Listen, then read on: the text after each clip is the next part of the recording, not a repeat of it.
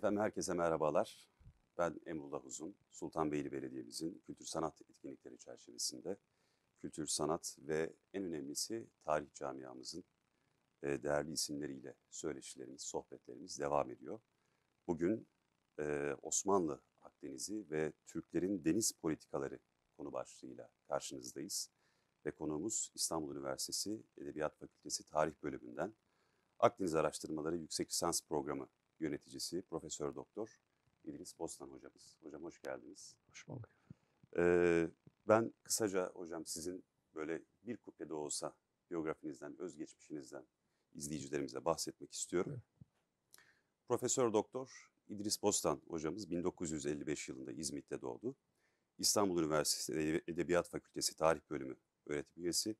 1985'te 17. yüzyılda Tersaniye Amire konulu teziyle Osmanlı Müesseseleri ve Medeniyeti Tarihi kürsüsünde doktor, 1992'de doçent ve 1998'de profesör oldu. Klasik dönem Osmanlı deniz tarihi, deniz ticaret tarihi ile Ege adaları konusunda kitap ve makaleleri yanında Osmanlı İmparatorluğu'nun güney siyaseti ve Afrika'daki varlığını esas alan araştırmaları bulunmaktadır. Ee, hocam öncelikle teşekkür ederiz bizi bu güzide mekanda çalışma ofisinizde ağırladığınız için. Ee, nasılsınız diyerek başlayayım. Çok teşekkür ederim. Ee, tabii içinde yaşadığımız e, salgın sebebiyle de biraz çalışmalarımızı evlerimizde yürütüyoruz. Ee, o sebeple e, elimizden geldiği kadar meşgul olduğumuz konularla biraz daha fazla ilgilenmeye vakit buluyoruz diyelim. Ee, tabii ki günümüzün pek çok e, tarihe dayalı meseleleri e, yaşanan hayatta tekrar karşımıza çıkıyor.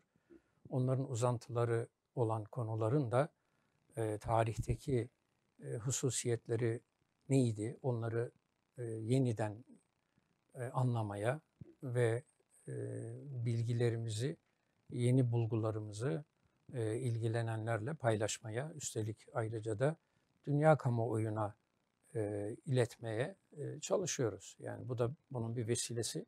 Esasında ben bu vesileyle değerli öğrencim ve e, Sultanbeyli Belediyesi'nde kültür işlerini e, yıllardır sürdüren müdürü Mehmet Mazak e, kardeşimize de teşekkür ediyorum.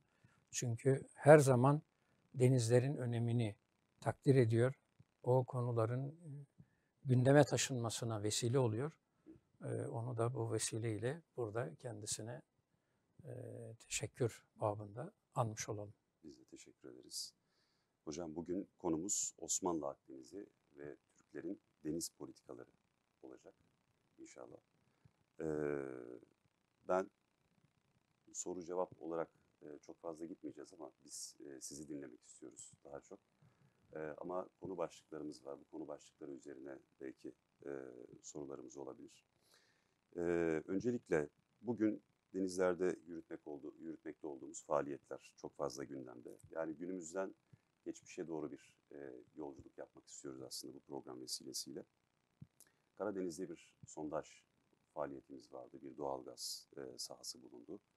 Bu sismik faaliyetlerin, bu çalışmaların bizim için, bölge için önemi nedir desem veya şöyle toparlasam, biz bu sismik faaliyetlerle dünyaya nasıl bir mesaj veriyoruz? Ee, malumunuz işte donanmamızla vesaire bunları da destekliyoruz. Küresel güçler bu duruma nasıl bakıyorlar hocam? E, ben buna tarihten bir misalle bir bakıma e, cevap da vermeye çalışayım. Meşhur bir e, Osmanlı Şeyhülislam'ı var Kemal Paşazade. O ünlü bir tarihçidir de aynı zamanda. Kanuni Sultan Süleyman devrinde e, Şeyhülislamlık görevinde bulundu. Daha önce Yavuz Sultan Selim'in de e, meşhur kadı askeri idi. E, onun e, söylediği çok güzel bir söz var. E, diyor ki Yavuz Sultan Selim'e, Padişahım siz öyle bir şehirde mukimsiniz ki onun veli nimeti bahirdir. Yani eski tabirle denizdir diyor. Eğer e, denizlere hakim olursanız onun sayesinde ticaret yapılır. E, ve bu sayede de İstanbul mamur olur. Ki İstanbul imparatorluğun payitahtı malum. E, o zaman her türlü e, ve dünyanın da en önemli şehirlerinden, en hareketli ve merkezi kimliği olan şehirlerinden biri. Dolayısıyla e, bunun denizlerin önemi bizde çok eskiden beri hem bilinen hem takdir edilen hem de gereği yapılan bir e, konu idi. Ve bu amaçla da Osmanlılar e, Akdeniz merkezli olmak üzere pek çok denizlere hükmettiler. Başta Karadeniz sonra Kızıldeniz olmak üzere ki o günün coğrafyasında dünya zaten aşağı yukarı bu bölgede cereyan ediyordu. Şimdi bugünkü mevcut şartlar muvacehesinde tabii yapılan bütün e, çalışmaları takdirle karşılamak e, gerekir. E, fakat bunları geçmişin ihtişamıyla birlikte mütalaa ettiğimizde e, tabii tarihin getirdikleri dikkate alındığında şu anda e, kara sula, sularına e, sığınmış bir e, devlet denizciliği söz konusudur. Osmanlılar vaktiyle Anadolu'nun kıyılarına geldikleri zaman nihayetinde sahil koruma amaçlı denizlere çıktılar. Ama sonra güçlerini denizlerde o derece arttırdılar ki verdikleri mücadelelerle başta Karadeniz'i iç deniz haline getirdiler. Akdeniz'in de Cebeli Tarık'a kadar bütün bölgelerinde hakim, etkin ve egemen e, bir güç haline dönüştüler ve o denizleri yönettiler. Dolayısıyla bugün e, başlatılan her teşebbüs mutlaka e, daha fazlasıyla desteklenmesi gereken e, ve ileriye yönelik projeksiyonları olması gereken, politikaları olması gereken bir mevzudur. Yani günübirlik e, kararlarla yürütülecek e, bir mevzu değildir. E, ileriyi düşünerek e, ve sadece anlık verilen çok önemseme kararları ile değil de ileriye yönelik politikalarla bunlar e, hesap edilmeli, düşünülmeli. Politikalar bunun üzerine e, oluşturulmalıdır. Çünkü Osmanlı tarihinde de biz bunun örneklerini görüyoruz. Osmanlı padişahlarını genelde yanlış bilirler, tanınırlar. Sanki onlar e, iki dudağı arasında bir karar alırlar ve ordular o tarafa, donanmalar o cihete doğru sefere gider gibi zannedilir ama hiç öyle değildir. Hep birbirini takip eden politikalar vardır. Bunların bazen aralarında 30 sene vardır, 50 sene vardır ama devlet aklı bunları ihmal etmez. Onları her zaman hafızasında canlı tutar ve gücünü ona göre hazırlar. Mesela Fatih Sultan Mehmet'in 1480'de e, İtalya'ya yönelik bir deniz seferi e, organize ettiğini biliyoruz. Meşhur e, önceki dönemde Vezir-i Azam o sırada Kaptan Paşa olan Gedik Ahmet Paşa bununla vazifelendirilmiştir. E, donanma Gelibolu'dan e, Otranto'ya gider İtalya kıyılarına Adriyatik tarafında. Oradan askerleri çıkartır ve o bölgede büyük mücadeleler yaşanır.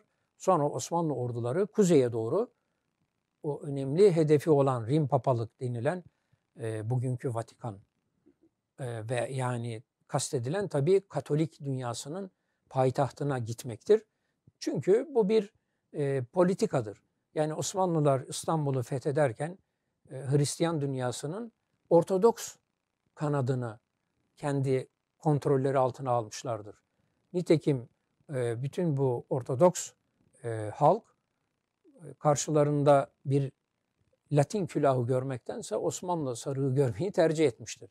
Yani Osmanlı ilerlemelerinin, fetihlerinin altında savaş süreçleri hariç son derece adil, insani bir yönetim vardır. Ama Osmanlı e, İtalya seferi Fatih devrinde Fatih'in vefatıyla akamete uğramıştır. Fakat Osmanlı devlet aklı ve bu politikaları yöneten o zamanın e, ehliyetli, liyakatli devlet ricali bunu hiçbir zaman unutmamışlar. 1536'da e, yeni bir seferle Otranto'ya kanuni devrinde çıkarma yapmıştır Osmanlılar. E, Korfu Seferi diye bildiğimiz önemli seferle. Yine bunun bir başka örneğini Fatih devrinden verebiliriz. Fatih'in iki büyük Akdeniz'e yönelik seferi vardır. E, ikincisi de Rodos üzerine düzenlenmiş bir deniz seferidir. Onda da Sadrazam, Vezir Azam Mesih Paşa'dır donanmanın e, en üst komutanı.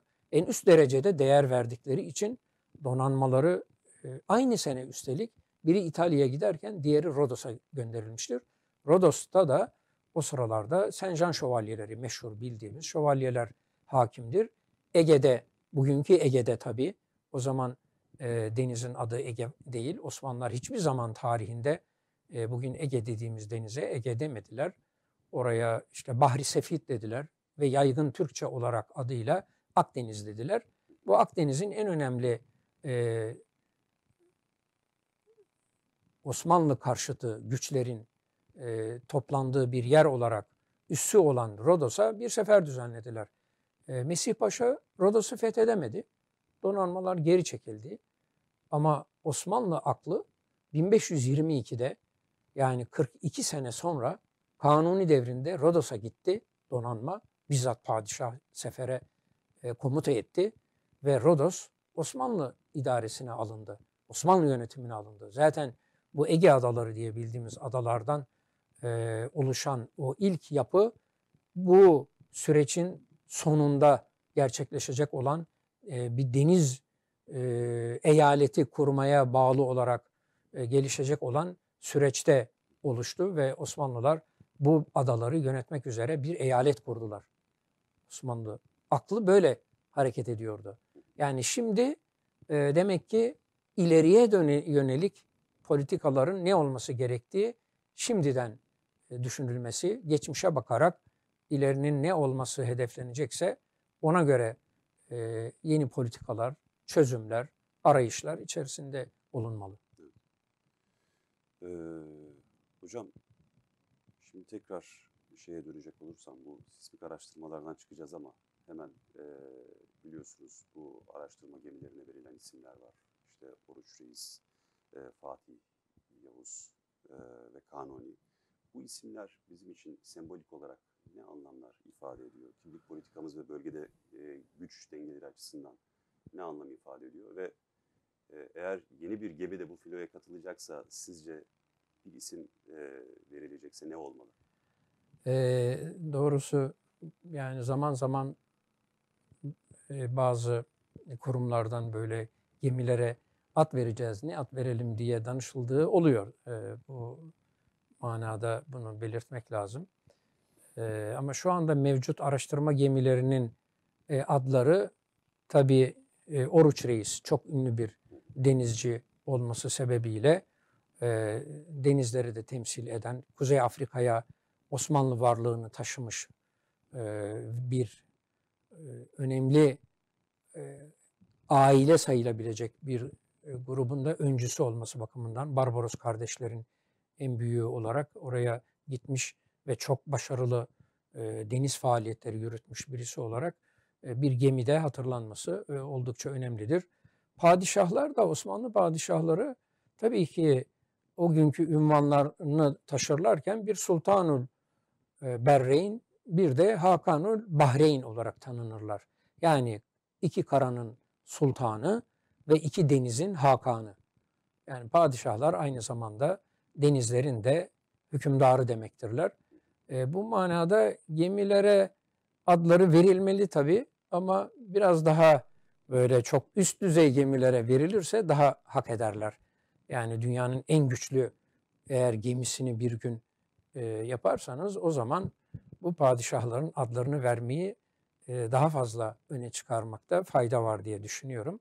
Ama çok fazla denizcisi var. Yani tarihimizde ünlü çok fazla denizci var. Bunlardan her birinin adı, şahıs adı verilmek istendiğinde gemilere bunlar verilebilir ve bunlar sadece bizim kendi tarihimizde tanınan değil, Avrupa devletleri tarihinde de yakından tanınan üstelik meşhur denizcilerdir.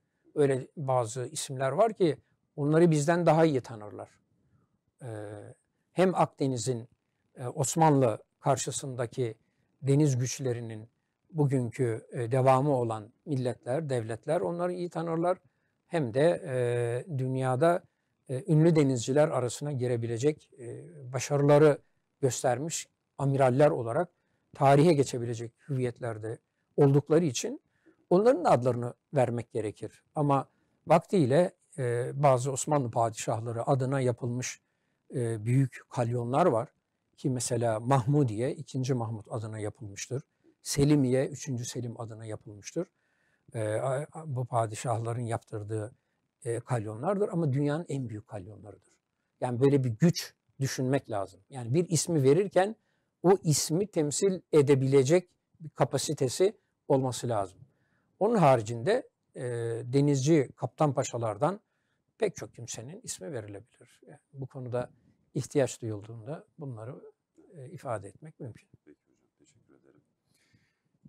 Şimdi denizlerde ciddi bir üstünlük yakalayan e, Osmanlı'nın deniz organizasyonları ve donanma gemileri de özel bir ilgiyi hak ediyor haliyle. Az önce bahsettiniz.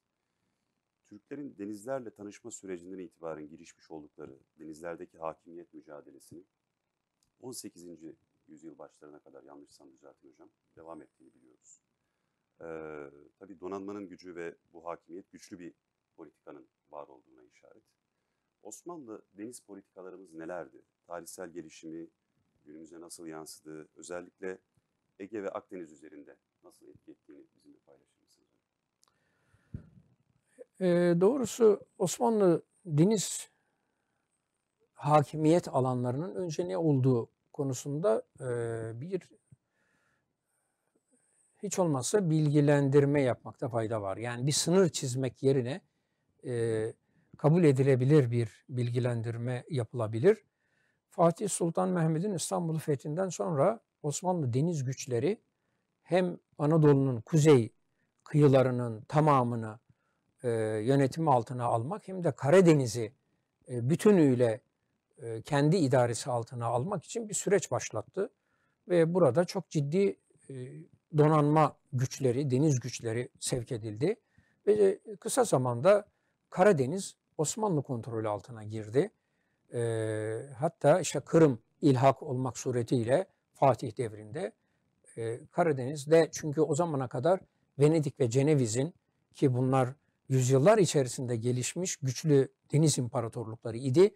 Bu e, imparatorlukların oluşturduğu kolonileri bir bir e, kendi e, yönetimi altına almak suretiyle Karadeniz'de kendi egemenliğini Osmanlılar koydu ve 15. yüzyıl sonlarından itibaren e, ahitnamelerde ki Venedikliler, Cenevizler bu denize çok çıktıkları için onlara e, artık Karadeniz'in tamamen Osmanlı e, hakimiyetinde olduğu ve izinsiz oraya çıkılamayacağı e, kararını dikte ettiler ve e, kısa bir müddet sonra da bunu uygulama alanına koydular.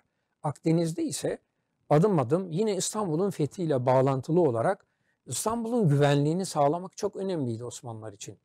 Denizden sağlanabilmesi ise e, karaya nispetle zordu ama zaruriydi. Çünkü e, eğer İstanbul'a bir tehdit gelecekse bu denizden gelebilirdi. Çünkü Balkanlara yayılan, e tabii ki İstanbul'un e, Türkler tarafından alınması bütün Avrupa'da, Hristiyan dünyada ciddi bir e, tepkiye yol açtığı için e, belli gücü, gücü olan, deniz ve kara gücü olan bütün devlet ve devletçikler hepsi harekete geçmek, Haçlı e, gücü orduları oluşturarak, donanmaları oluşturarak İstanbul'u yeniden nasıl geri alabiliriz e, telaşına ve planlarına e, düştüler. E, ama Osmanlılar da buna karşı tedbir almakta gecikmediler. Fatih'in ilk tedbirleri Çanakkale Boğazı'na inşa ettirdiği o endar e, geçide inşa ettirdiği iki kaledir. Kilit Bahir ve Kalayı Sultaniye kaleleri. Buradan gemi geçişini, izinsiz geçişi engellemekti bunun amacı. Sonra Boğaz'ın dışındaki adaları birer birer kendi egemenliği altına aldı. Midilli'yi, efendim e, e, Taşözü, bugünkü e, Gökçeada'yı, İmroz'u, e, bütün bu adaları birer birer kendi idaresine aldı. Limni'yi, Sisam'ı. E, zaman içerisinde tabii Sakız'da önce e, bağlı bir e, yönetim olarak Osmanlılara iltihak etti ama sonra tamamen egemenlik altına alındı ve sonra az önce sözünü ettiğim kanuni devrine gelinceye kadar bu adaların Osmanlı hakimiyetine giriş süreci devam etti. Yani devlet bütün bu dönemlerde denizlerle son derece ciddi ilgileniyordu. Üst üste donanmalar kuruyordu, tersanelerini geliştiriyordu ve hatta Yavuz Sultan Selim'in e, denizlerde çok fazla bir faaliyet göstermediği e, siyasi tarih bakımından e, çoğu defa ifade edilirken e, kalıcı faaliyetleri göz ardı edilir. Halbuki Yavuz Sultan Selim bugün bildiğimiz Haliç'teki o büyük tersaneyi kuran yani o imparatorluk tersanesini kuran padişahtır. Onun zamanında kurulmuştur ve e, bu konuda Piri Mehmet Paşa Vezir-i Azam'ı onunla yaptığı görüşmeleri de e, çok manidardır. E, donanmayı 300 gemiden oluşan güçlü bir hale getirmek istediğini, bunun için de Haliç'te bir tersane kurulması gerektiğini e, emreder ve bunun gereği olarak da bugüne kadar intikal eden daha çok Haliç Tersanesi adıyla bilinen ama bütün Haliç'in kuzey sahillerini Karaköy'den yani Galata'dan efendim Kağıthane'ye kadar olan bölgeyi tersaneyi amire olarak bir imparatorluk tersanesi olarak inşa ettirmiştir Yavuz Sultan Selim. Zaman içerisinde buna eklemeler, efendim gemi teknolojilerinin durumuna göre değişimler, onların yapımına uygun tezgahlar, havuzlar e, bu tersane bölgesinde e, yapılmış ve imparatorluğun deniz gücü buralarda oluşturulmuştur. Tabii ki pek çok tersanesi var ama imparatorluk tersanesi e, Haliç'teydi ve bugün o maalesef kıymeti bilinmez bir halde Haliç'te bir bakıma mahsur bir ve mahzun demekte bir e, mahsur yok. E, orada e, şu anda tarihi fonksiyonunu bir müze olarak dahi temsil edemeyecek durumda bulunuyor. Ben yıllarca oranın bir e, Osmanlı İmparatorluk denizciliğini temsil edecek bir müzeye dönüştürülmesi için uğraş verdim. E, bunu belli bir düzeye kadar da hatta e, taşımaya çalıştım ama e, galiba biz dışarıdaki ünlü deniz müzelerini görmeyi, hayranlıkla seyretmeyi, kendimizdeki kıymetleri e, görmezden gelerek tercih ediyoruz yani. Ben ümit ediyorum bir gün Osmanlıların o tarihi şanına uygun bir denizcilik müzesi bu bölgelerde e, e, temsil edilecektir ama e, onun tabii belki zamanını beklemek gerekecektir. Şimdi Osmanlıların bu deniz politikalarını oluştururken gösterdikleri çabalar tabii ki sahillerden başlayarak denizlere açılmak suretiyle gerçekleşti. Bir kere e, bu, şunu da ifade etmek lazım ki Türkler Anadolu'ya geldikleri zaman kuzeydeki denize de Anadolu'nun batısındaki denize de adı kendileri verdiler. Yani tarihin hiçbir devrinde hiçbir dille Karadeniz'de Karadeniz'e Karadeniz denmiyordu. Akdeniz'e de Akdeniz denmemişti. Bu Osmanlı e, hatta Osmanlılardan dahi biraz önce e, ifade edilmeye başlamış ama Osmanlıların literatüre kazandırdığı bir ifade olmuştur, bir ad olmuştur. Bugün Akdeniz'in biz eğer adını bütün Cebeli Tarık'a kadar olan deniz için kullanıyorsak bu Osmanlıların tabiridir. Karadeniz'e de daha sonra Avrupalılar da kendi dillerinde çeşitli şekillerde Karadeniz demişlerdir. Yani bu denizlerin adını Anadolu'ya gelen Türkler vermişlerdir ve de bu yüzyıllarca hiç değişmeden devam etmiştir. Bugün sadece Akdeniz biz diyoruz tabii. Ee, ama onu dahi işte Ege'sine ayırarak söylüyoruz. Bunlar da bizim deniz meselelerinden ne kadar uzak düştüğümüzün e, bir göstergesidir. Osmanlılar denizlerde ilerledikçe tabii ki denizlerde üsler de kurdular. Mesela Kuzey Afrika'yı e, kendi hakimiyetleri altına aldıkları zaman oralarda deniz üsleri kurdular. Nitekim Cezayir, Tunus, Trablusgarp bugünkü Libya uzun yüzyıllar Osmanlı donanmasının yardımcı bir gücü olarak bu denizlerde e, Osmanlı deniz gücünün bir parçası görevini gördüler. Aynı zamanda o denizlerde Osmanlı deniz politikalarını uygulama alanına koyan korsanlar vardı, deniz korsanları ki biz e, bu tabirin 16. yüzyıl ortalarına kadar Osmanlılar tarafından kullanılmadığını, daha çok deniz gazisi tabirinin yaygın olduğunu, Levent ve gönüllü reisler tabirlerinin yaygın olduğunu e, belgelere dayanarak söylemek zorundayız. Ama daha sonra yaygın bir tabir olarak korsanın Osmanlı literatürüne de girdiğini, bunun da olumlu anlamda kullanıldığını görüyoruz. Yani haydut ve eşkıyalık manasına Osmanlı denizcilerinin hiçbir şekilde faaliyet gösterme hakları yoktu. Devletin izin verdikleri de sadece e, düşman olan devletlere karşı istedikleri faaliyetleri göstermeleri şeklindeydi. Osmanlı Devleti'nin dostu olan devletleri ise bu korsan denizciler asla zarar veremezlerdi. Zarar verenleri de devlet cezalandırırdı. Yani böyle bir hukuk vardı. Bu e, vesile ile zannediyorum siz onu e, soracaksınız. Yani deniz hukuku var mıydı diye. Var böyle bir sorunuz diye düşünürseniz bu politikaların da bir gereğidir. Osmanlı deniz politikaları uygulanırken aynı zamanda orada bir deniz hukuku e, oluşturuldu. Yani Osmanlı Devleti'nin tabi olduğu İslam hukukunun izin verdiği ölçüde e, ve tarih boyunca devletler arası ilişkilerin şeklini belirleyen e, İslam fıkhının, hukukunun e, müsaadesi ölçüsünde bu devletlerle ilişki kurdular. Dostane ilişki kurdukları devletlere hem karada hem denizde ticaret yapabilme hakkı tanıdı Osmanlılar. Bu niçin ticaretle sınırlı? E çünkü dost olan devletlerle eğer savaş söz konusu olursa o zaman hukuk değişiyordu. Savaş hukuku her şeyi değiştiriyordu. Bu sebeple Akdeniz'de Osmanlı Devleti'ne dost olan devletler belliydi, düşman olan devletler de belliydi.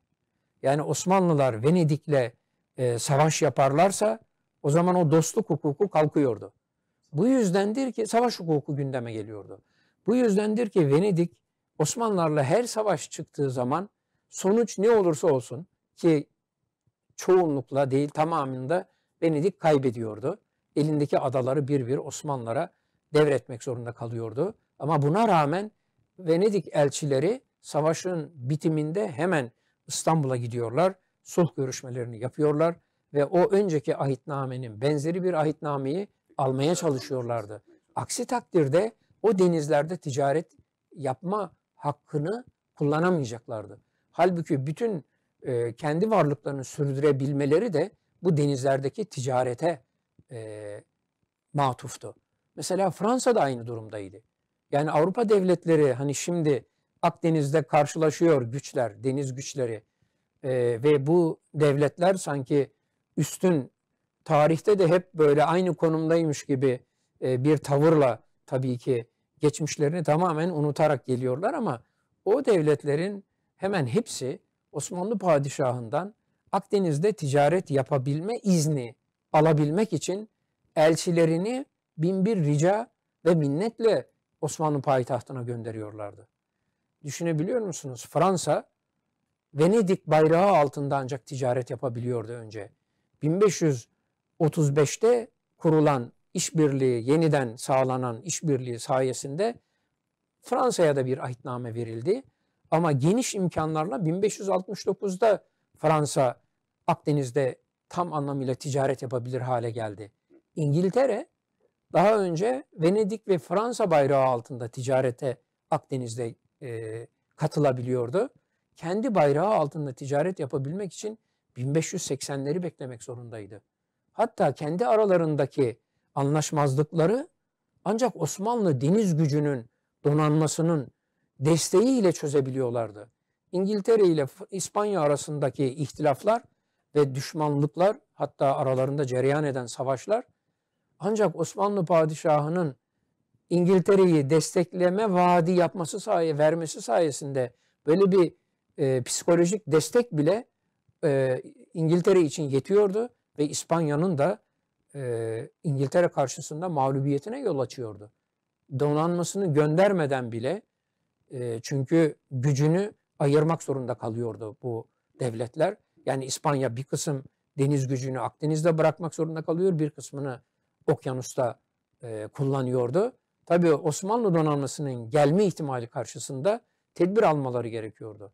Bu yüzden Osmanlı Devleti Avrupa'nın e, pek çok devletinin aslında bir milli devlet olarak ortaya çıkışlarında böyle bir etki yaptı.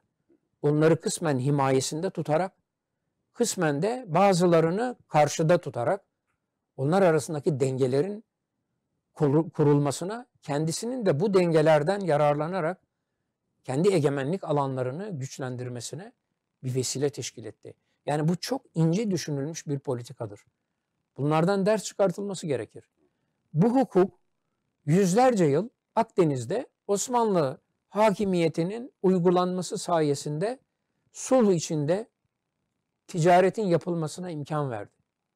Eğer Osmanlılar böyle bir düzen tesis etmemiş olsalardı, bir düzen koyan devlet olarak Akdeniz'e bir hukuk getirmemiş olsalardı, uzak doğudan, Hint dünyasından Avrupa'ya gelen e, emtialar, baharat yolu, İpek yolu üzerinden gelen bütün emtiaların, malların taşınması tehlikeye düşerdi.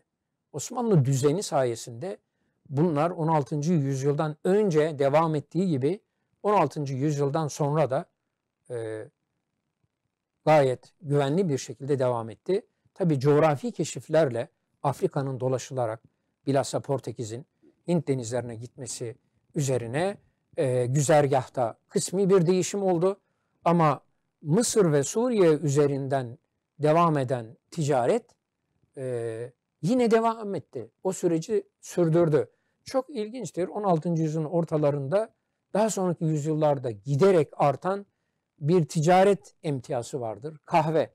Bugün herkesin e, çok da düşünmeden tükettiği kahve 17. yüzyıldan itibaren bütün Avrupa devletlerinin de milletlerinin de çok ilgiyle tükettiği bir e, içecek maddesi olarak kullanılmaya başlandı ve kahvenin ticaretini yapmak için Fransızlar, İngilizler, Hollandalılar Akdeniz'de İskenderiye, Reşit, Dimyat limanlarında yüzlerce gemileriyle kahve taşımak üzere seferber oldular.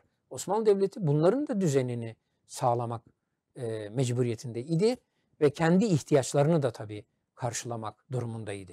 Yani böyle olunca Akdeniz'deki düzen koyan bir devlet olarak Osmanlıların hiç olmazsa 300 yıl 18. yüzyılın sonlarına kadar bu e, duruşunu koruyabildi, sürdürebildi ve Akdeniz'de e, kendi düzeninin değiştiği zamanlarda çünkü bazen savaşlar tekrar çıktı.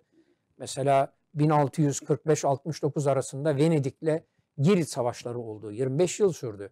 O zaman yaşanan hadiselerde farklı bir takım gelişmeler olsa da ama bu genel statüyü değiştirmedi.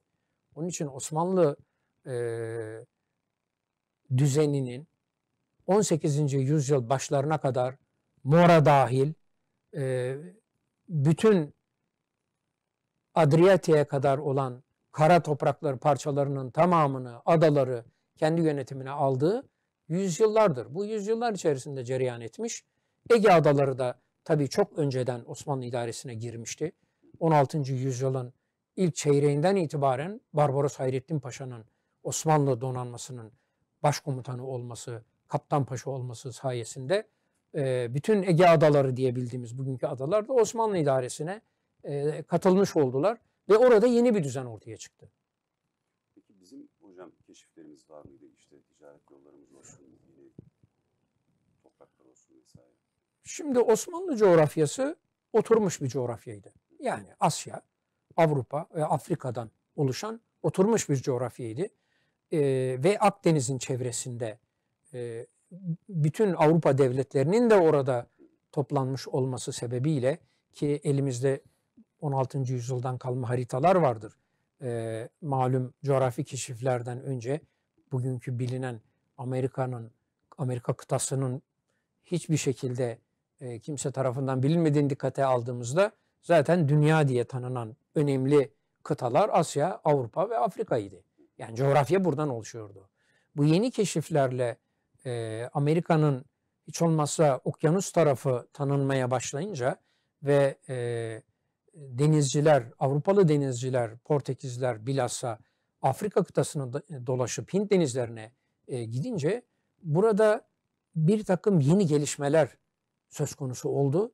Coğrafi keşifleri Osmanlılar ancak takip ettiler. Kendilerinin yeni bir e, keşfi söz konusu değildi. Çünkü o coğrafyanın devleti değildi Osmanlılar. Ama bu keşiflerde neler olduğuna dair e, çok önemli ilgileri olduğunu görüyoruz. Piri Reis'in o bildiğimiz e, keşifler e, haritası, yeni dünyayı gösteren keşifler haritası bu manada çok önemlidir. O harita da 1513'te e, ç- tamamlanmıştır. İkinci bir benzer Kuzey Amerika ve Okyanus kısmını gösteren bölümü ise 1528'de tamamlanmış. Onu da yine saraya sunmuştur Kanuni Sultan Süleyman'a. Birinci haritayı da Kahire'de Yavuz Sultan Selim'e sunmuştur. Bunlar çok manidardır. Çünkü Yavuz Sultan Selim'in Mısır seferinin asıl sebebi Portekiz'in coğrafi keşiflerle Hint denizlerine ve Kızıldeniz'e girmesi üzerine tehdit altında kalan kutsal toprakları, haremeyni korumaya yöneliktir. Çünkü Mısır'da hükümran olan Memlük devleti deniz gücüne sahip olmadığı için Portekiz'e karşı koyabilecek gücü yoktu. Aslında şimdiye kadar bilgilerimizi gözden geçirmemiz lazım. Osmanlılar Mısır'a 1517'de girdiler Kahire'ye. Halbuki Osmanlı deniz gücü Kızıldeniz'e 1507'de gitmeye başladı. Çünkü Memlük Devleti Portekiz'e karşı e, güç yetiremediği için Osmanlı Devleti'nden yardım istemişti. Burada 2. Bayezid'in e, rolü çok büyüktür.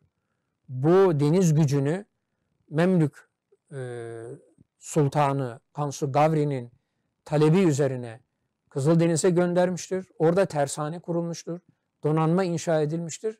Ve ilk Portekiz'e karşı mücadeleler Osmanlı denizcileri tarafından yapılmıştır ki onların e, başında Selman Reis önemli bir yer tutar. E, ismi e, belki çok fazla gündeme gelmiyor ama e, Selman Reis kıymeti bilinmesi gereken çok önemli denizcilerden biridir. Burada denizlerde e, Osmanlı e, anlayışının nerelere e, kadar uzadığını, uzandığını, kendisine ait gördüğünü hatırlatmakta fayda var. E, bütün Akdeniz'i bir iç deniz haline getiremediler. Çünkü Avrupalı devletlerin Akdeniz'e kıyıları var. Ama bu denizi yönettiler. Bu denizde bir düzen koydular ve bu denize bir hukuk getirdiler.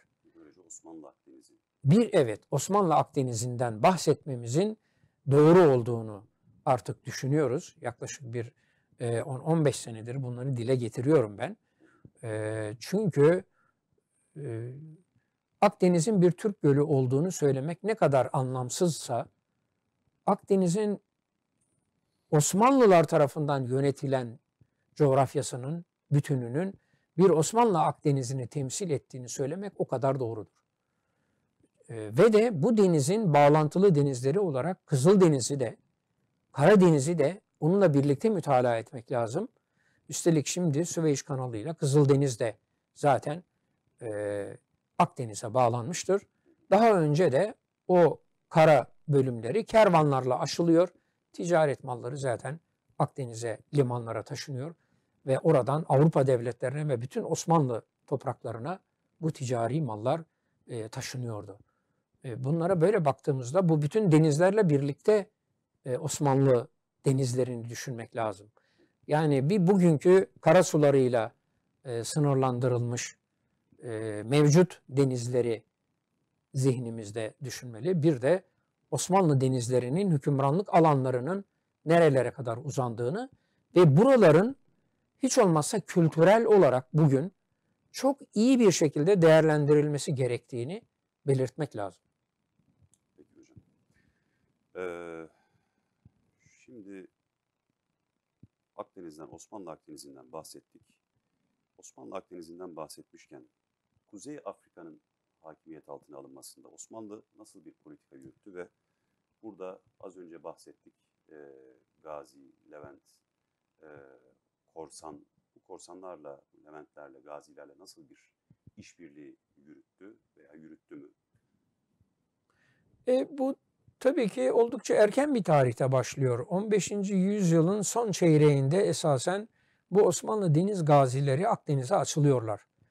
Burada e, tabii ki çok uzun e, konuşulabilecek konular bunlar. Bir Endülüs meselesi var Akdeniz'de. Yani İspanya'nın kendi krallık alanlarını genişleterek 750 sene e, bugün de Endülüs diye bilinen, Endülüsya diye tanımlanan e, coğrafyada bir İslam devleti vardı. Ve İspanya Krallığı kendi topraklarını genişletmek üzere bu Endülüs Müslümanları üzerine e, bir harekat başlatınca Endülüs Müslümanlar Osmanlılardan yardım istediler. Ve Osmanlıların e, bu yardımı yapabilecek deniz gücü vardı. Ama siyasi konjöktör e, bunu devlet gücü olarak yapmasına pek elverişli değildi. Çünkü aynı tarihlerde e, Sultan Cem ikinci Bayezid karşısında mağlup olup Avrupalı devletlere iltica edince önce Rodos sonra Fransa ve sonra da papalık nezdine gidince Osmanlı Devleti'nin Akdeniz'deki harekatı alanları biraz sınırlandı mecburen. Yani batıdan gelebilecek bir tehlikeden endişe etti. O yüzden denizlerin Orta ve Akdeniz'e, Batı Akdeniz'e doğru yönelen deniz gücü büyük ölçüde e, durduruldu. Daha çok Doğu Akdeniz bölgesinde faaliyet gösterdiler. Ama o sıralarda e, bağımsız deniz gazileri dediğimiz bu Leventler Akdeniz'e grup grup açılmaya devam ettiler. E, işte bunların içerisinde bildiğimiz meşhur Piri Reis var.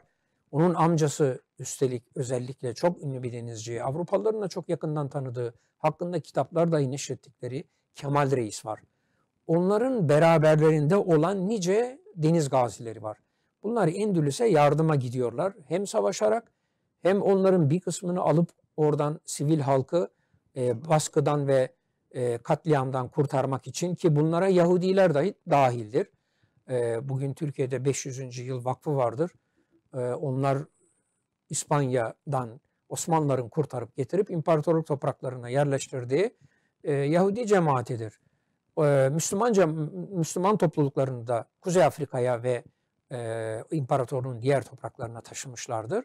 O sırada Batı Akdeniz'e giden Osmanlı bağımsız deniz gazisi bu denizciler Kuzey Afrika'da kendilerine üs edindiler.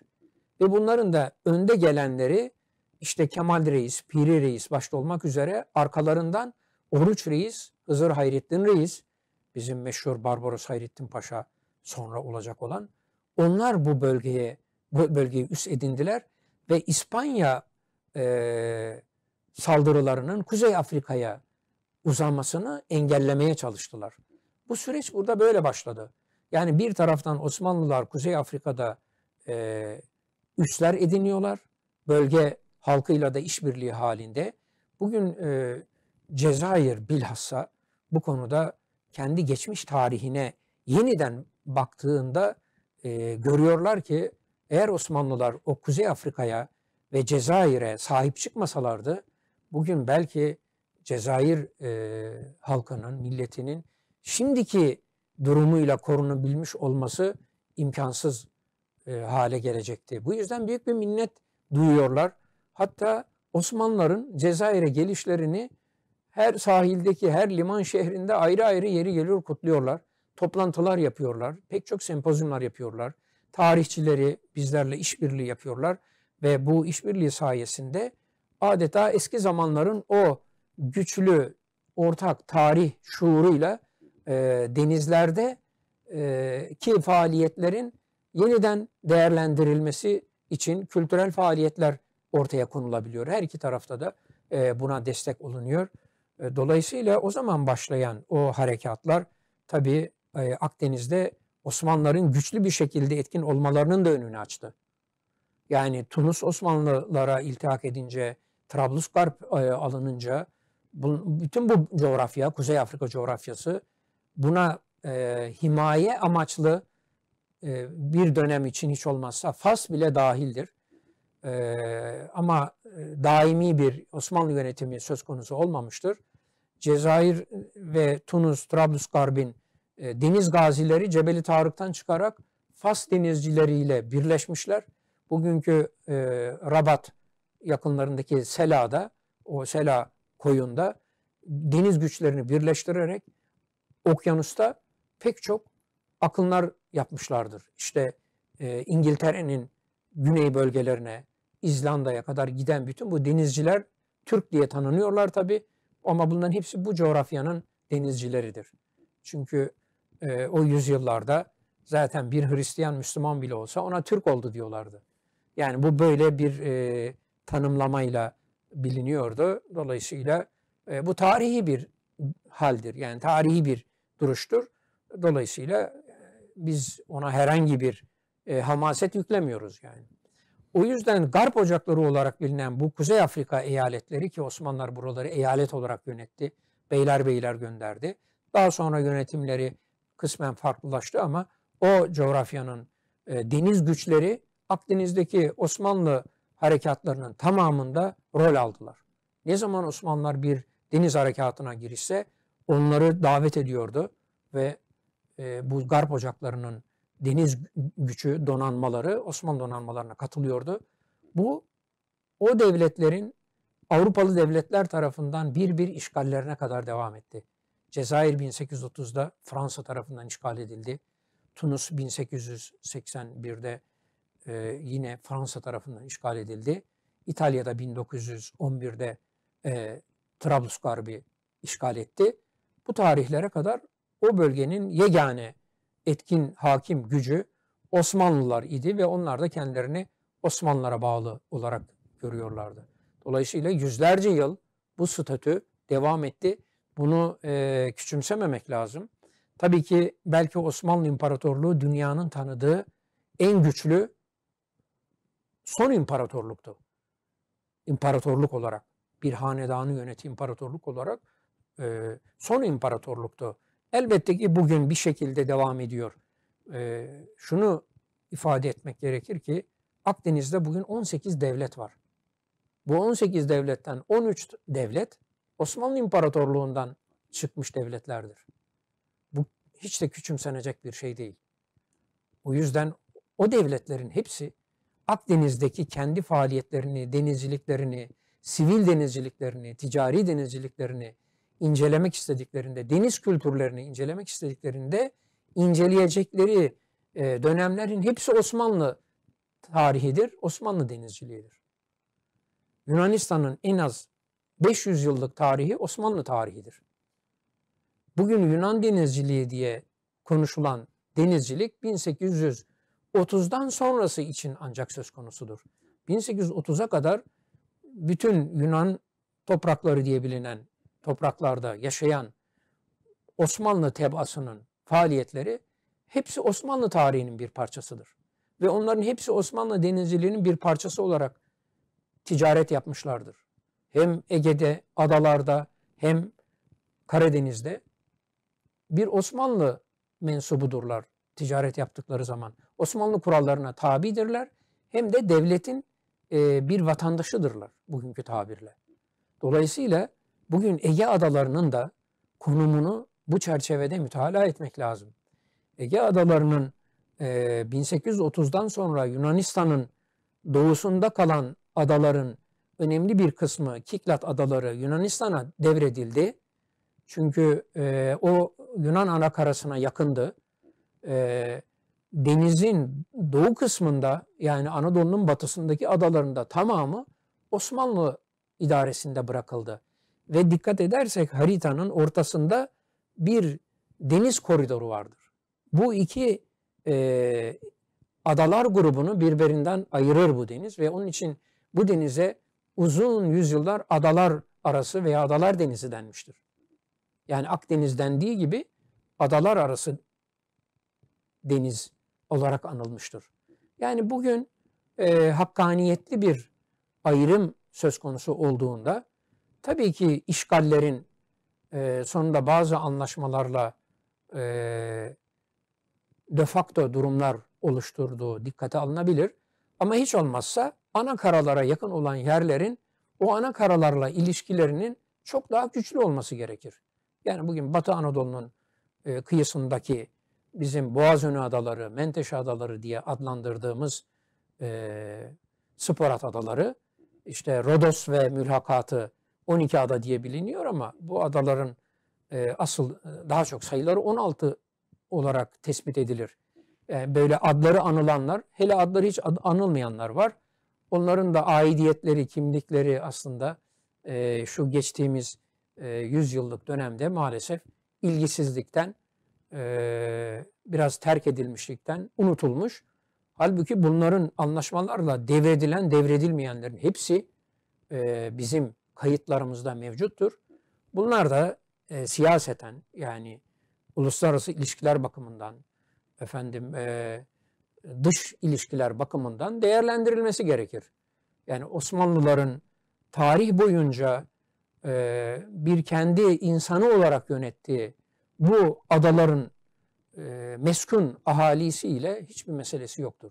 Yönetirken de son derece insaflı ve insani yönetmiştir. Çok meşhur bir tabiri vardır hatta. Şikayet ederler bazen adalar. Yani bizden alınan vergileri karşılayacak gücümüz yok diye. Devlet erkanı bunu değerlendirir. Divanda bunlar kararlar e, mütalaa edilirken değerlendirilir. Ve o zaman çıkan kararlara biz bakıyoruz. Diyor ki işte bu adalar bazıları için bunlar e, ceziredir diyor. Yani adadır. E, böyle ana karalarla teması çok olmadığı için e, çok fazla kendilerini e, tarıma dayalı geliştirebilecek e, durumları olmayabilir. Madem ki işte bazen kıtlıklar olur, e, yeterince üretim yapılamaz. Bu hallerine bakarak merhameten diyor. Cezire olmanın hallerine merhameten vergiden muaf tutuluyorlar. Yani adalar hakkında bir sürü gürültü kopartılıyor ama hiçbirinin tarihi gerçeklerle alakası yok. Hatta bazen diyor ki bazı adalar için bunlar Sengistan olmağın yani taşlık, kayalık yerler. Yine hallerine merhameten vergi alınmasın diyorlar. E bütün bunları dikkate alan bir büyük imparatorluk aklının bu adaların halkını yönetirken ne kadar insani davrandığını dikkate almayanlar, e, bilhassa bazı bunu e, Yunanlı meslektaşlar da maalesef yapıyorlar. E, şu, tabii bunun da sebebi biraz rivayete dayalı bilgiler üzerinden geliyor. Esasında arşivler her şeyin doğrusunu söylüyorlar. Zannediyorlar ki bu adaların bir kısmı şöyle düşünüyor. Bu adaların zaten yönetiminde Osmanlıların bir etkisi yoktu. Gelip vergilerini alıp kaptan paşalar gidiyorlardı. Halbuki bütün bu adaları kendi şartlarına göre Osmanlılar teşkilatlandırmıştı. Adı üzerinde aynı kendi eyaletleri gibi eyalet kurmuştu. Cezayir'i Bahri Sefid eyaleti dediğimiz eyaletin başında beyler beyleri vardı. Ve bu beyler beyler denizden sorumlu kaptan paşalardı. Yani kaptan paşaların yönetiminde bu adalar bir eyalet olarak yüzlerce yıl yönetildiler. Tarihinde o adalara hiç o şekilde değer verilmemiştir. Bu bir değer vermeyi gösteriyor. Ve de bazılarının statüsü az önce söylediğim gibi e, hallerine merhameten çok e, fazla bir e, daha sıkı bir yönetim gerekmediği için serbest bırakılıyorlardı. Sadece oraya bir sorumlu tayin ediyordu devlet. Yani kadı tayin ediyordu. Bu kadı bazen birkaç adaya bir kadı oluyordu. Bazen bir ada, bazen değil tabi adaların büyüklüğüne göre onların her birinde kadı ve onunla beraber e, ilgili diğer yöneticiler oluyordu. Bazıları sancak şeklinde teşkilatlandırılıyordu. Aynı e, Balkanlarda, Anadolu'da eyaletler nasıl yönetiliyorsa bunlar da öyle yönetiliyordu. Yani Osmanlı İmparatorluğu'nun bir tek yönetme şekli yoktu toprakları, e, kendi memalikini. Çeşitli yönetim şekilleri vardı. Bizim tarihte herkesin bildiği o yapılmış iki ciddi bir ayrım vardır. Bir haslı eyaletler diye, toprağa dayalı eyaletlerin yönetimi. Bir de yıllıklı eyaletler, salyaneli eyaletler denen her sene o bölgenin gelirleri giderleri üzerinden yönetilen bir eyalet yönetim şekli vardı. Mesela Yemen, bu uzak eyaletler böyledir. Yemen öyleydi. Mısır öyleydi. Cezayir, efendim Tunus, Trablusgarp bu eyaletler salyaneli eyaletlerdi. Bunların yönetimi oralardaki e, toprak düzenine göre değil, devletin sancak ve kazalara göre yönetme şeklinin yıllık gelir giderleri bir şekilde bütçelendirmek suretiyle takip ettiği bir yönetim şekliydi. Yani diğerlerine göre biraz daha o yöneticilere bırakılmış bir yönetim tarzıydı. Ama bu yönetme biçimi sadece kendi e, sınırlarının içerisinde değil, aynı zamanda e, dış işlerinde kendisine bağımlı, iç işlerinde yönetimini serbest bıraktığı Dubrovnik'te de böyleydi. Eflak'ta da böyleydi, Boğdan'da da böyleydi. Kırım Hanlığı Osmanlı yönetiminde idi ama Kırım Hanı Kırım'ı yönetiyordu. Yani devletin yönetme şekli tek bir düzene göre yürütülmüyordu.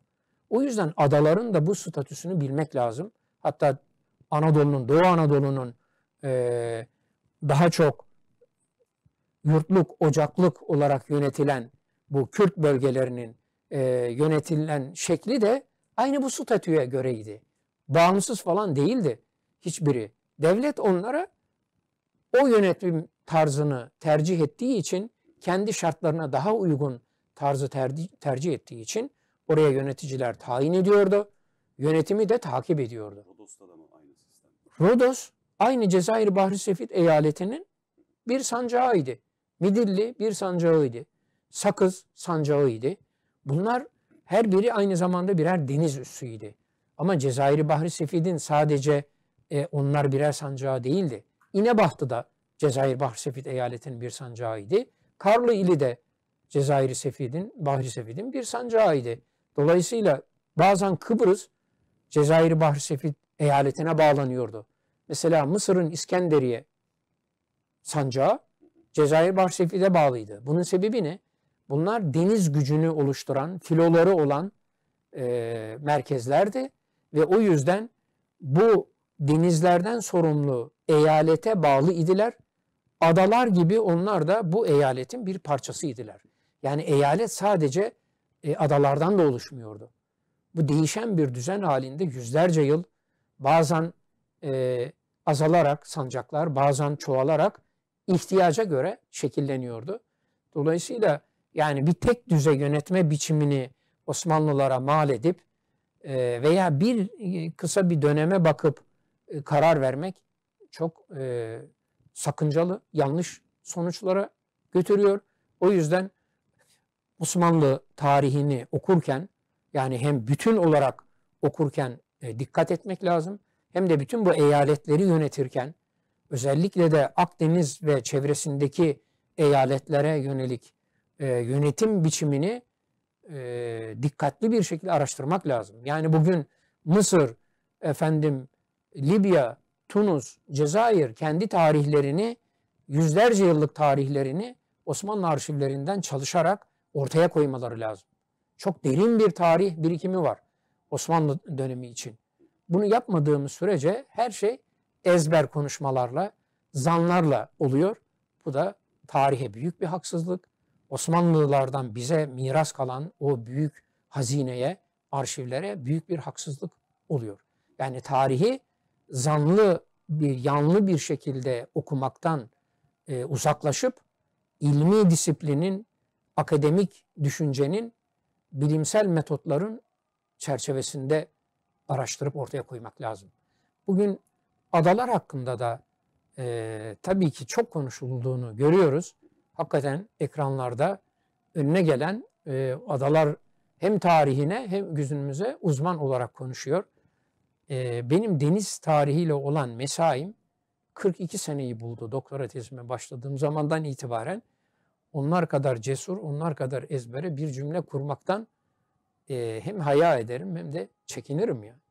Bu e, böyle olmamalı yani. Türkiye kendi sorumluluklarını tarihin o engin birikiminden getirmeli. Yoksa günübirlik bakış açılarıyla meselelerini anlamaya uğraşmamalı. O tarihin engin birikimi günümüzü çok daha ağırbaşlı, vakarlı, sorumlu ve geleceğe yönelik politikaları sağlıklı oluşturmak için olmazsa olmaz şarttır. Teşekkür ederiz. son konumuz e, Kıbrıs meselesi. Kıbrıs önemli. Özellikle bu e, meseleyi bilmeyen, e, meseleye vakıf olmayan çok gencimiz var. Özellikle gençler de. E, hocam nedir bu Kıbrıs meselesi? Geniş perspektiften bakarsak Kıbrıs bizim için ne ifade ediyor? Stratejik önemine, tarihsel önemine biraz açarsanız konuyu.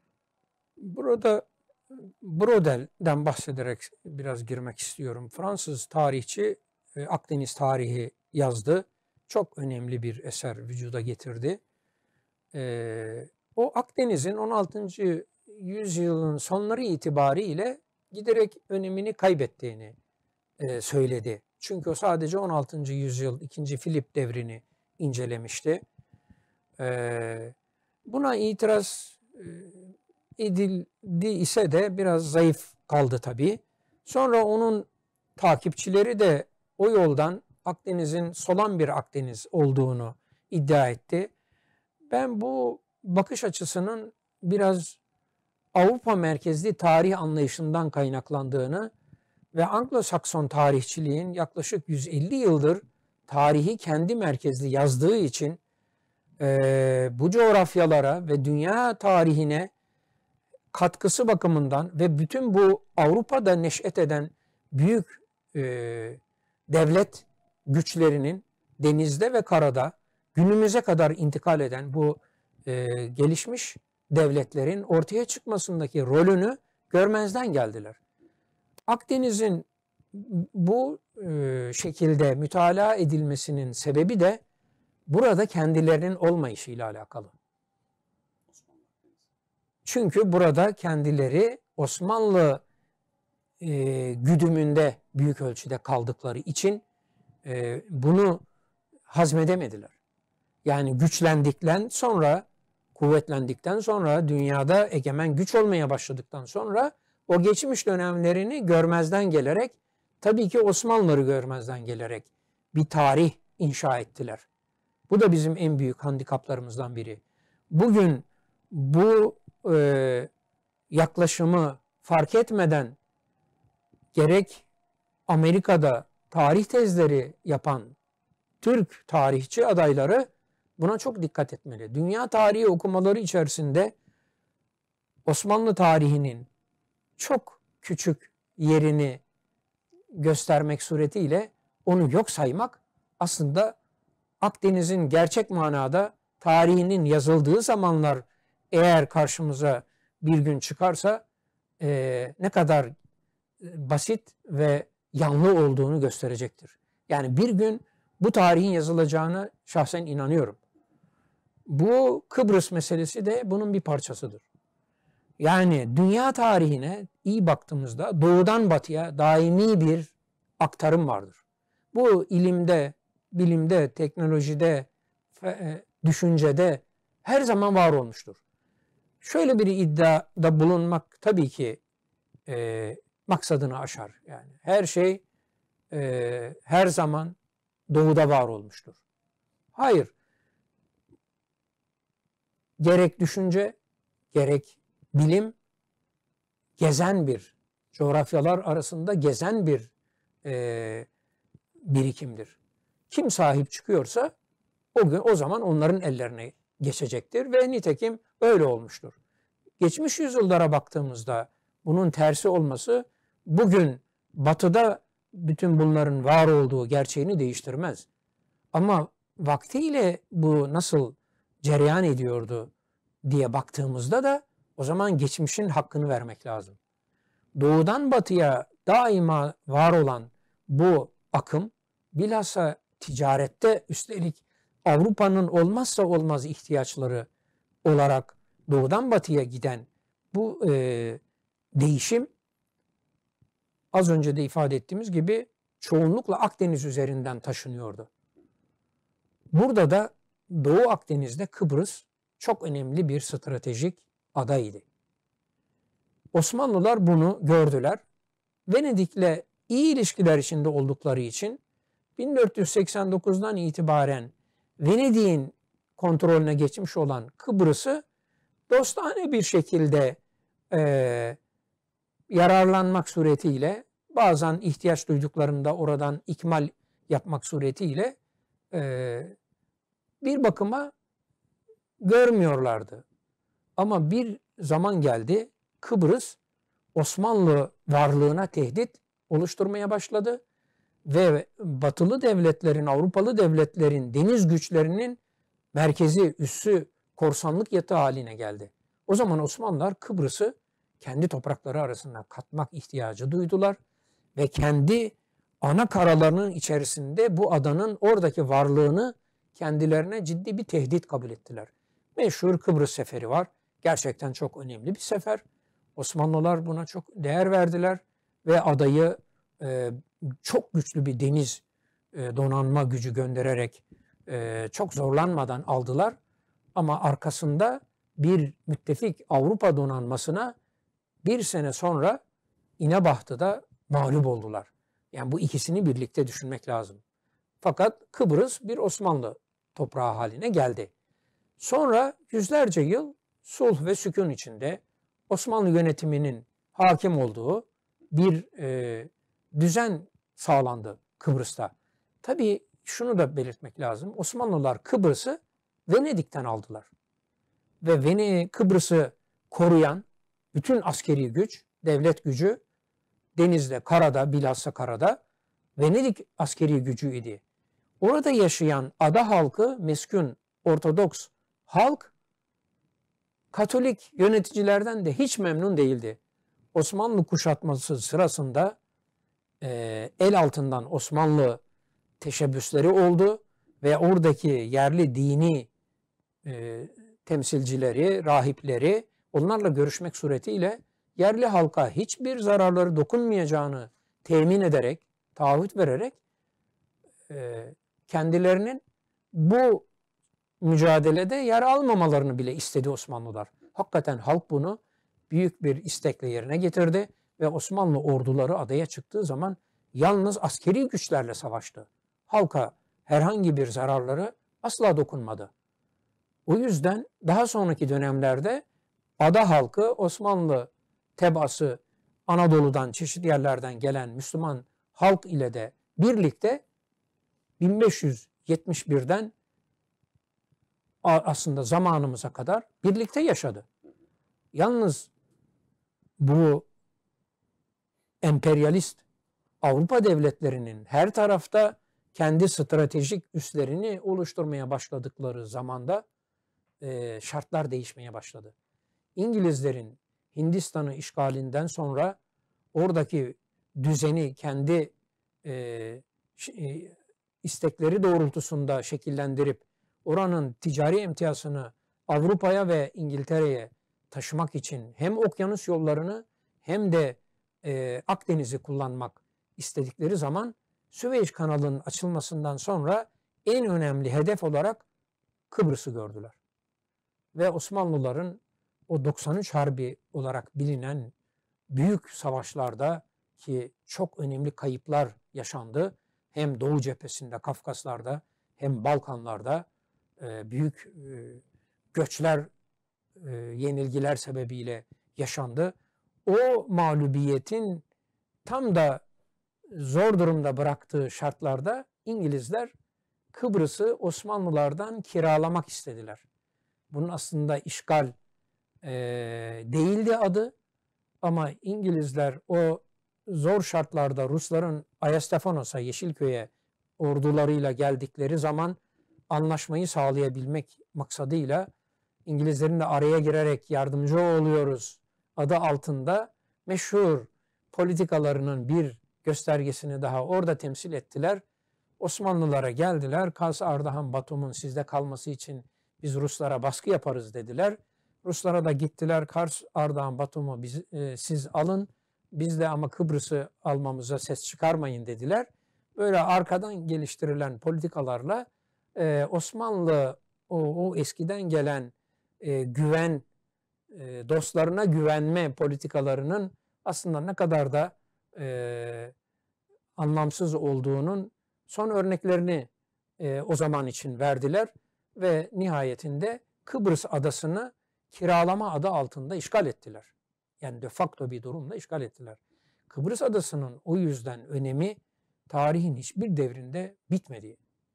Ve o yüzden de bugün Kıbrıs bütün e, dünyadaki süper güçlerin üst kurmak amacıyla gelip çeşitli gizli anlaşmalarla ilişkiler kurmaya kalktığı bir e, ada parçası olarak karşımızda duruyor ve bunu bugün yaşıyoruz biz.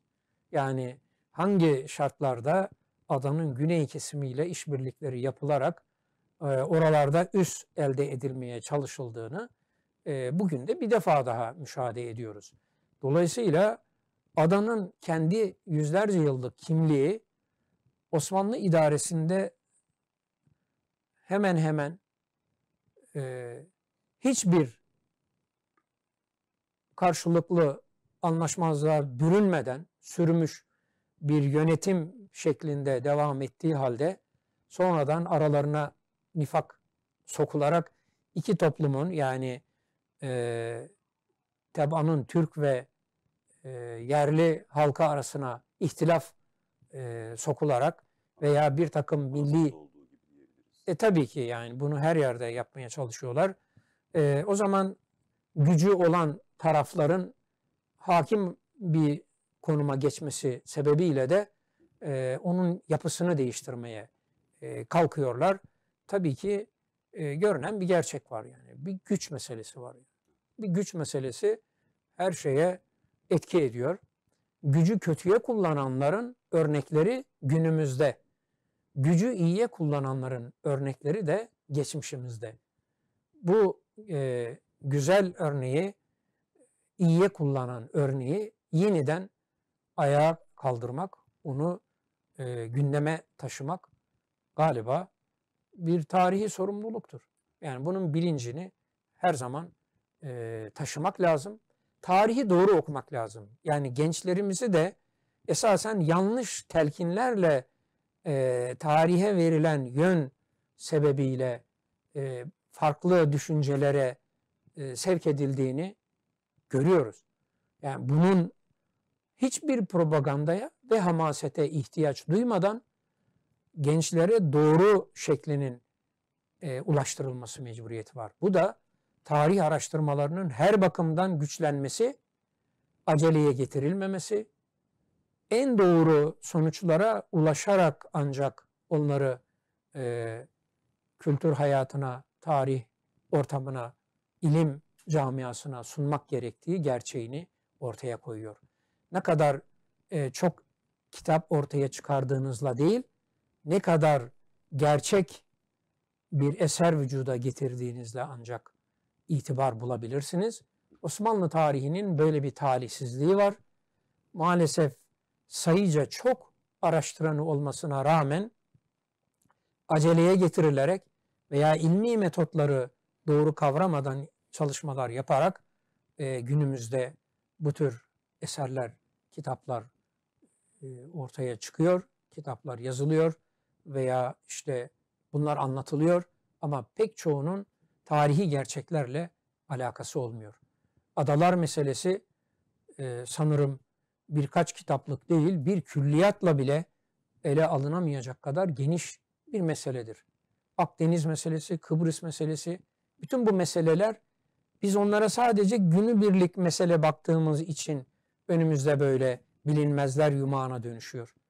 Halbuki biz öngörüleri güçlü, sezgileri güçlü ilim adamları olarak o konuları çok önceden ele alıp inceleme mevzu haline getirirsek tabii ki bu belli desteklerle ancak olur. Sadece şahsi desteklere kaldığı zaman bizim gücümüzün yettiği kadarıyla oluyor. Ama eğer bu kolektif ve de daha üst desteklerle eğer gerçekleşmesi için önü açılırsa o zaman uzun vadede çok daha farklı gerçeklerin ortaya çıktığı görülür. Bu Osmanlı Akdeniz'i, Osmanlıların denizlere hukuk getirdiği, şimdiye kadar hiç düşünülmemiş konular. Bizim deniz hukuku okutulan üniversitelerin hukuk fakültelerinde bile deniz hukuku sadece Avrupa deniz hukukudur. Çünkü ben yakinen biliyorum. hiçbir şekilde Osmanlıların deniz hukukuna dair bir cümle dahi ne konuşulur ne de kitaplarda yazılır. Halbuki bu ahitnameler dediğimiz bizim Osmanlıların Akdeniz'de toprağı olan veya Akdeniz'e gelip Akdeniz'de faaliyet gösteren okyanus devletlerinin hepsinin dahil olduğu bir hukuktur. Amerika dahi ticaret yapabilmek için Akdeniz'e Cebeli Tarık Boğazı'ndan gemilerini gönderdiği zaman önce. Cezayir'le böyle bu hukuka dayanan bir anlaşma yapmak, sonra da bunu Osmanlı Devleti'ne tasdik ettirmek mecburiyetinde kalmıştır. İngiltere, Fransa, Hollanda, Danimarka, bütün Avrupa devletleri, Akdeniz'e kıyısı olan Fransa, İspanya, bütün devletler Osmanlıların izin verdiği ölçüde Akdeniz limanlarında ticaret yapabilmiştir ki hepsinin bu ticarete ihtiyacı vardı. Bu çerçevede Kıbrıs'ta çok önemli bir ticaret limanları olarak önemli bir merkezdi ve e, bur- buralarda da ticaret yapabilme hakkını e, Osmanlılar tanıyorlardı. Onun için tarihin e, bu özelliklerini bilerek e, bu perspektifte e, politikalar üretilmesi geçmişin politikalarına uygun günümüzde yeni e, açılımlar düşünülmesi bir zarurettir, kaçınılmazdır. Sadece bugün şu olay meydana geldi. Hadi efendim bu olayı bakalım nedir dediğiniz zaman onun e, sonuçlarını alamazsınız. Bu çok önceden hazırlıkları yapılması gereken e, önemli konulardır. Bu Osmanlı tarihi bütün devletlere ait ilgisi olan bir tarihtir. Avrupa'da her devletin kendi tarihiyle alakalı belki 3-5 kat kitapları oluşan bir koleksiyonları vardır. Tarih koleksiyonları gittiğinizde görürsünüz zaten kitap e, satış yerlerinde kaç kat Avrupa tarihinin veya o ülkenin tarihinin incelendiği kitap koleksiyonlarını bulursunuz. Kaynakların yayınlandığını görürsünüz. Halbuki bizde her şey e, ihtiyaridir ve de şahsi gayretlere dayanmaktadır. Yani bunun müesseseleşmiş bir e, idraki henüz ortaya çıkmamıştır. İnşallah bizde de olur diye.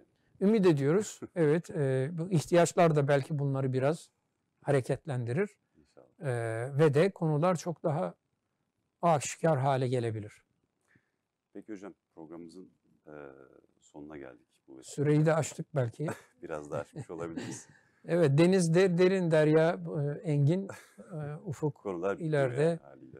Evet, e, tabii ki ihtiyaç halinde bunları konuşmak iyi olur. Hocam çok teşekkür ediyoruz. Engin tarih, bilgi ve birikiminizi bizlerle paylaştınız. Özellikle evinizde, çalışma ofisinizde bizleri ağırladınız. Çok teşekkür ederiz. Estağfurullah. Ümit ederim e, tarihin aydınlığında gesinelim. İnşallah. Orayı aydınlatalım. İnşallah. Peki efendim. Sevgili izleyicilerimiz Sultanbeyli Belediye'mizin kültür sanat e, etkinlikleri çerçevesinde kültür, sanat ve tarih camiamızın değerli isimleriyle söyleşilerimizi gerçekleştiriyoruz. Bugün Profesör Doktor İdris Bostan hocamızla beraberdik. Ee, Osmanlı Akdeniz'i ve Türklerin deniz politikalarını konuştuk. Böyle bir söyleşi gerçekleştirdik e, ekip arkadaşlarımıza, belediyemize, bu işte emeği geçen herkese çok teşekkür ediyoruz. Çok sağ olun efendim. Görüşmek üzere diyelim.